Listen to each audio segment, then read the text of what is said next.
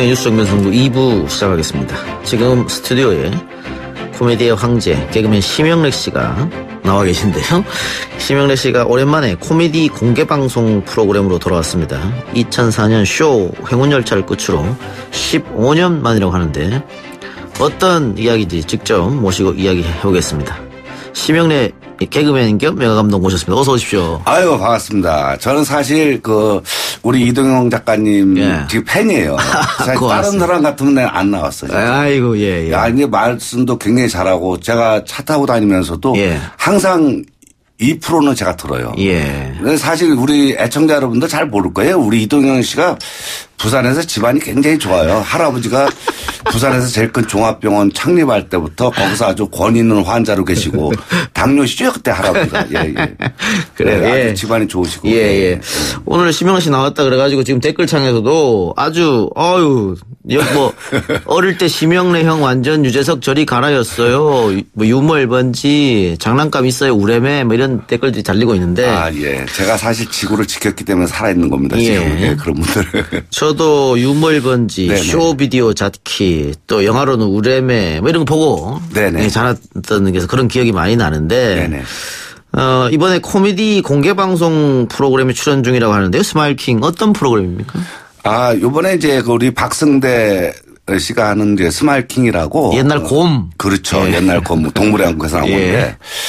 아, 저번에 갑자기, 갑자기 이제 그 코미디를 다시 좀 하자 예. 했을 때 아, 굉장히 두렵더라고요. 그동안 제가 한 30년 정도 이제 쉬다가 예. 이제 영화 쪽으로만 있다가 다시 코미디를 하려니까 과연 이제 제가 하는 코미디하고 지금 세대들하고 예. 이게, 이게 맞나 코드가 그래서 굉장히 부담스러워서 처음에 안 한다 그랬었어요. 예. 그래서 그랬더니 아니 그게 아니고 진짜 한번 그 한번 해보자 했을 때 아, 정말 굉장히 두려웠죠. 예. 그 두려운 마음으로 시작하셨군요. 아, 그럼요. 왜냐하면 옛날 같으면 계속 했을 때는 잘 모르겠는데 방송도 그동안 너무 오래 쉬었잖아요. 예. 하다가 새로 시작을 했는데, 어, 다행히 이제 우리 팬들이, 음. 어, 팬분들이 그런 또 스타일에 좋아하는 분들이 많이 좋아해 주셔서 정말 감사드립니다. 이 무대는 어디서 하시는 겁니까, 지금? 우리 그 딜라이브 그 코미디 채널 예. 그 스튜디오에서 어, 매주 월요일 날 공개로도 하고 공개 있습니다. 방송으로. 예, 예. 후배들하고 함께 하시는 거겠네요, 그러면?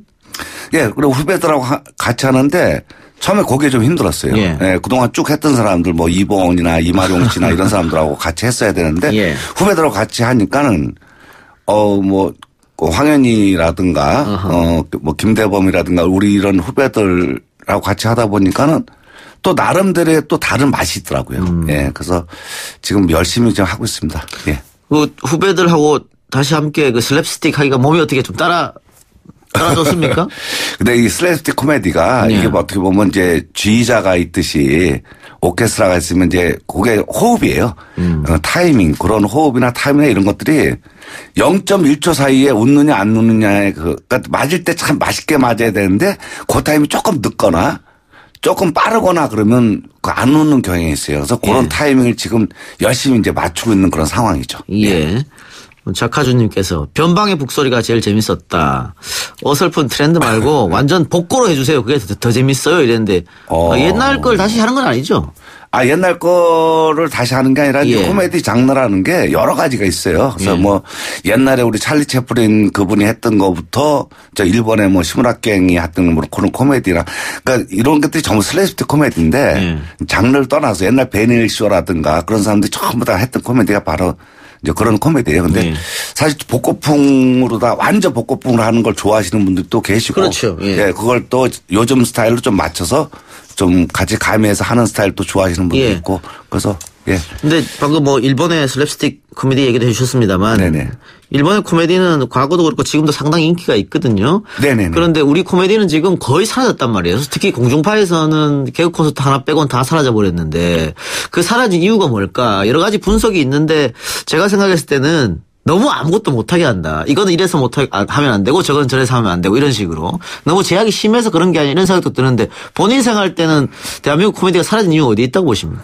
이건 요즘에는 저희 할 때보다도 요즘에 볼 매체가 굉장히 많아요. 아. 요즘엔 매체들이 뭐 재밌는 것들이 굉장히 많은데. 뭐 1인 미디어 유튜브 같은 것도 그렇죠. 많아졌고. 유튜버라든가 예. 좀 그래도 또 굉장히 또 이 공중파나 이런 건 또 이제 그 제약이 많이 있지만 그런 것들 제약이 좀 자유스럽잖아요. 그렇죠, 그러다 그렇죠. 보니까 어, 앞으로 우리 코미디나 이런 개그맨들이 더욱 더 많은 아이디어를 짜가지고 그러니까 점점 이제 그 SBS도 코미디 없어지고 음. 예, 예. 예 를 들면 MBC도 MBC 도 아예 그렇죠. 없어지고 예. 지금 남아 있는 게 이제 KBS하고 그 TVN의 예, 그, 예. 그 개- 저기 코미디 빅리그. 예, 빅리그 그거만 남아 있어요. 그래서 아 이런 걸 보고 좀 더 반성을 해서 어뭐 그런 제약이나 이런 거에 핑계 대지 말고 음. 아. 더욱 더그 아이디어와 더 많은 노력이 필요한 것 같아요. 그러면 요즘도 아이디어 회의 후배들하고 같이 이렇게 하십니까? 예, 그럼요. 우리가 매주 아이디어가 제일 중요해요. 사실 모든 코미디가 그 아이디어로 웃겨야 되니까 예. 그 아이디어 없을 때가 제일 고민이죠. 예. 음.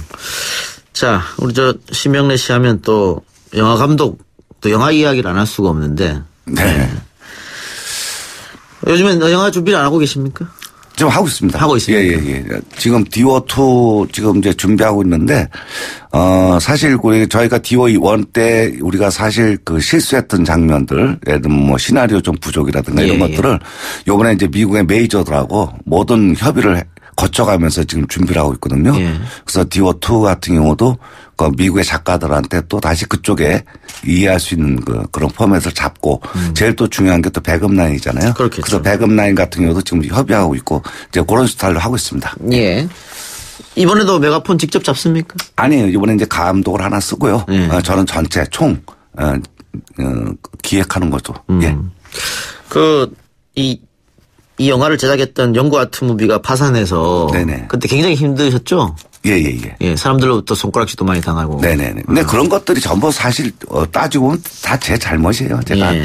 방향을 갖다가 이제 어그 잘못 정해가지고 예. 사실 영화라는 거가 어떻게 보면은 어 작품당 하나씩 하나씩 그 했던 스텝들 그걸 갖다가 계속 유지하고 간다는 게참 예. 어렵더라고요. 예. 그래서 그런 뭐 방향도 내가 잘못 정했고 그 다음에 이제 앞으로 그런 사고 없이 어, 더욱더 좋은 걸 한번 만들려고 하는 그 욕심밖에 없죠. 음. 예.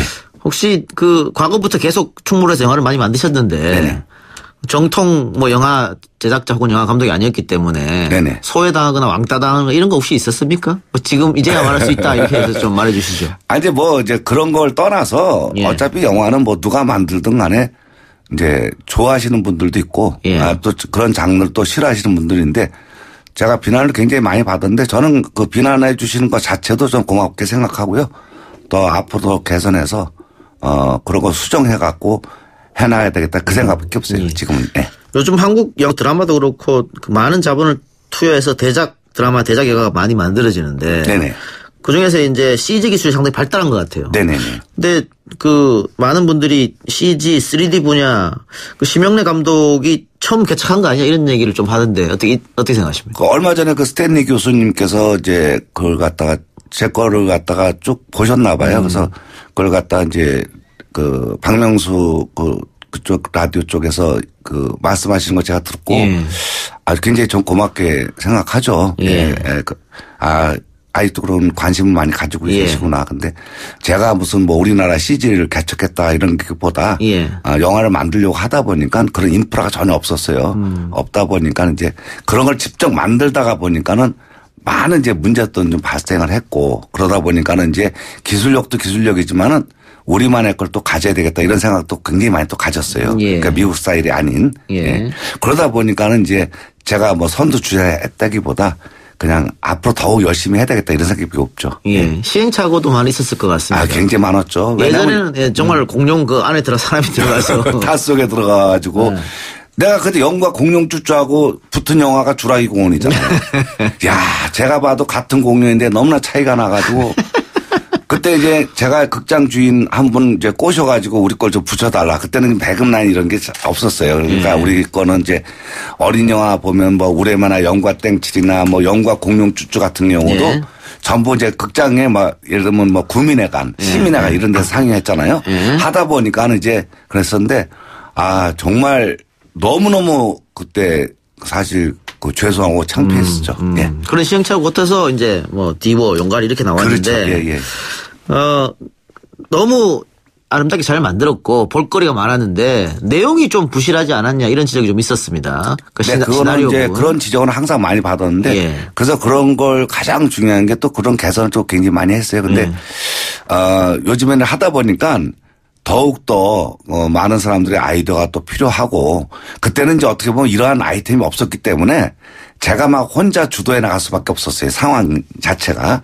그때 뭐 이제 이러한 발상 자체도 하는 작가들도 별로 없었고 어, SF 쪽에 그러다 보니까 이제 그 혼자 무리한 걸 많이 하다 보니까는 문제점이 많았었는데 지금은 굉장히 이제 시스템화 스- 스타일로 다 해서 어, 작가들도 굉장히 많아졌어요. 이번 스토리 살짝 이야기해 줄 수 있습니까? 디워2? 아, 이번에 디워2 같은 경우는 이제 1편에선 이제 하늘로 용이 승천하잖아요. 예. 승천하면 용이 어디 가 있는 데가 있어야 될 거 아니에요. 그래갖고 그러다 보니까는 이제 아, 설정을 어떻게 하냐면 이제 미국하고 사실 소련하고 옛날 소련이죠. 예. 아, 우주 경쟁이 벌어졌어요. 예, 예. 그래갖고 최초의 이제 우주인이 가가린인데 그걸 갖다 미국에서 알고 6개월 전에 먼저 이제 그, 그 아폴로 프로젝트에서 세튼 1호를 쏜 거죠. 예. 그래서 거기에 타고 온 스티브가 우주에 올라가는데 너무 무리한 실험을 하다 보니까 궤도를 이탈해갖고 벌어지는 그러한 내용이에요. 음. 예. 예, 예. 언제쯤 우리가 완성된 작품을 볼 수 있을까요? 글쎄 좀그 일찍 했으면 좋았었는데 우리가 그때 중국하고 그때 막 그 준비하기 전에 이제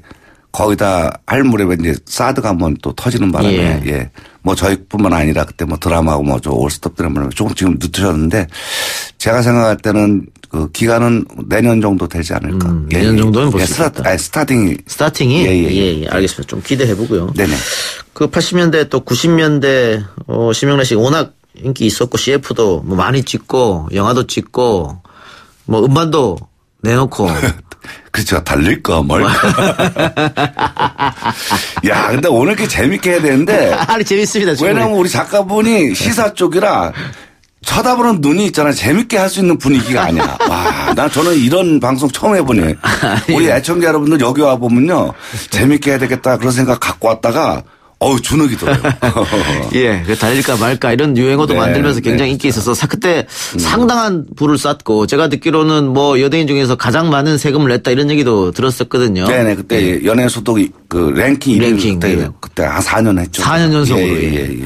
예. 어. 그럼 이제 그 많은 돈을 역시 이제 영화에 투자하면서 다 그렇죠. 예. 없어져 버린 겁니까? 예, 예. 영화에 다 투자를 하고. 근데 저는 이제, 어, 한편으로 보면은 이제 그, 물론 이제 편하게 살 수도 있지만은, 예. 어, 제 자신도 사실 번 돈을 또 다시 투자해서, 어, 개척하고 예. 하는 게 더, 그래서 제가 여쭤봤는데 네네. 왜 그럼 영화를 하셨는지 또 이게 돈을 그 많은 돈을 지금 투자로 가셨습니다만 어쨌든 지금 사라졌으니까 아깝지는 않은지 후회는 안 되는지 그게 좀 여쭙고 아 싶어요. 많이 아깝죠. 네.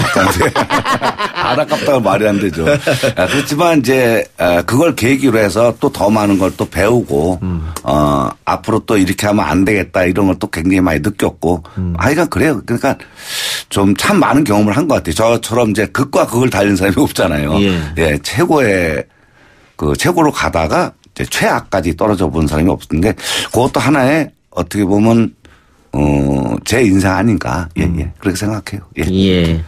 음. 건강은 어떠세요? 뭐 건강은 지금 뭐그 괜찮습니다. 예. 예.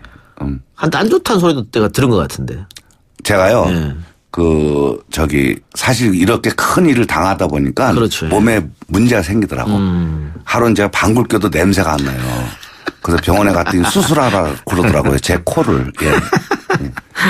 그게 뭐 상, 예. 심각한 스트레스를 많이 한꺼번에 받아서 조금 몸- 몸이 안 좋아졌던 건가요? 별로 안 웃는 거 보니까 뭐 저라고 다 웃기겠습니까? 아니, 아니, 가끔 웃자고 한번 밖에서 해봤는데. 빵 터졌습니다. 예, 예, 예, 예, 예. 예.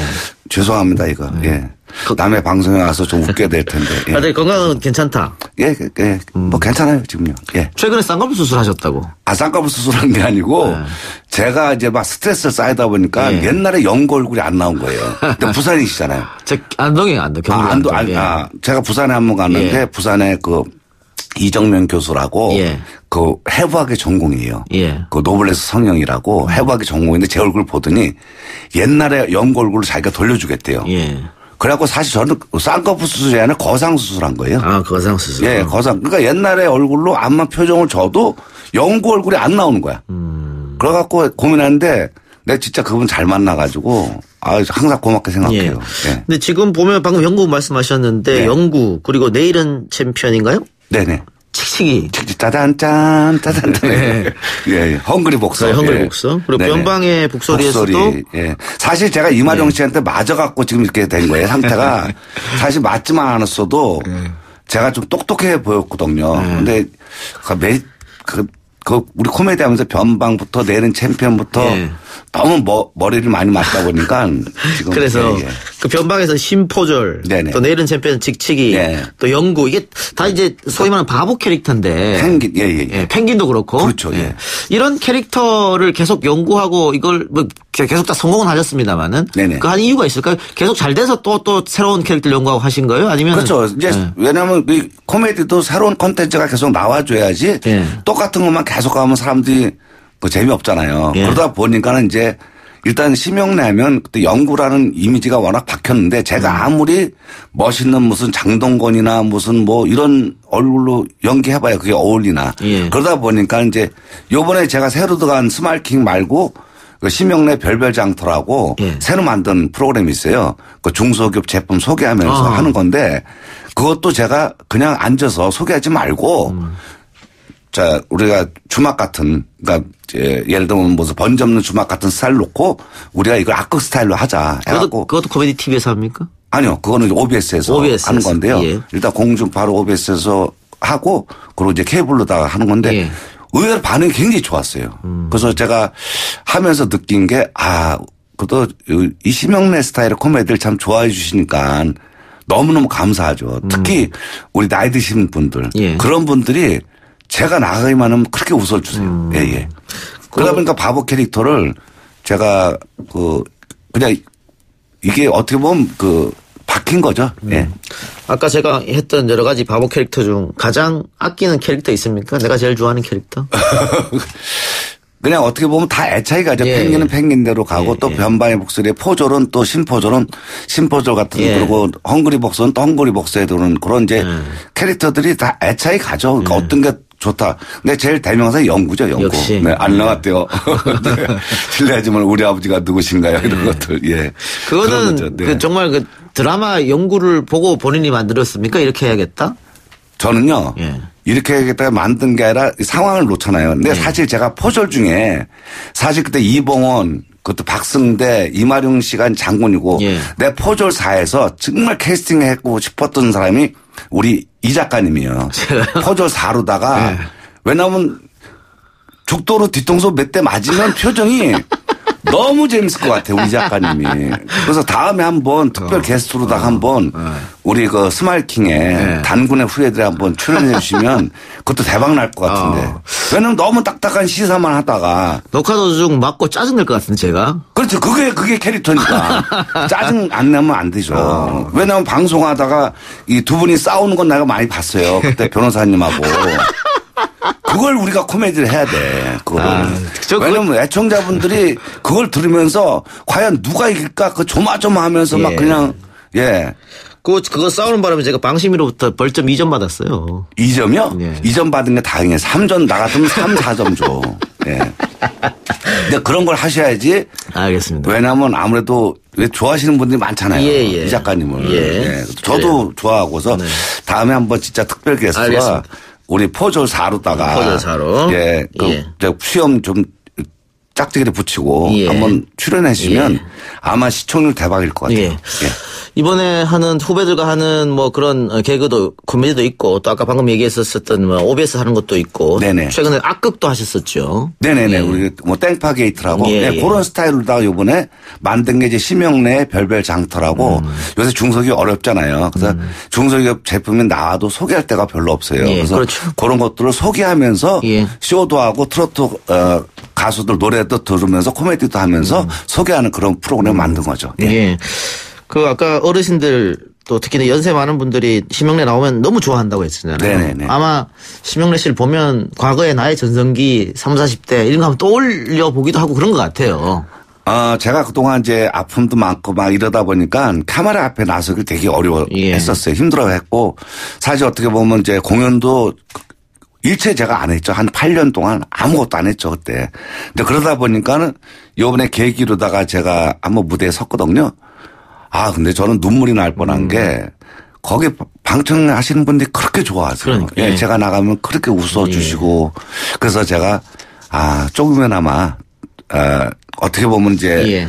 아, 웃음을 좀 더 드려야 되겠다 알겠습니다. 이런 생각을 예. 갖게 됐습니다. 아니요, 그럴 것 같은데 저도 심영래 씨 보면은 뭐 네. 중학교 때, 고등학교 때 생각이 막 지금 막 떠오르고 있거든요. 웃으면서 TV 봤던 그 시절이. 그래서 아, 예. 그분들도 그러지 않을까 싶습니다. 네네, 알겠습니다. 네네. 자, 오늘은 그러면은 이 정도로 인터뷰 마무리하고요. 네. 예. 아유, 벌써 시간이 다. 다 됐습니다. 금방 가네요. 예. 저 가끔 불러주세요. 이- 일주일에 아홉 번씩 제가. 예, 예. 알겠습니다. 오늘 인터뷰 감사합니다. 아유, 고맙습니다. 예, 네. 응원하겠습니다. 아, 예. 예. 지금까지 심영래 씨였습니다.